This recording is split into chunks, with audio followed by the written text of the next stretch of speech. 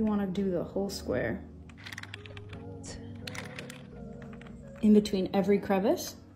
Ja. Es ist satisfying, warum auch immer das satisfying ist. Ich weiß nicht warum. Das gefällt mir. Das finde ich ein bisschen geil.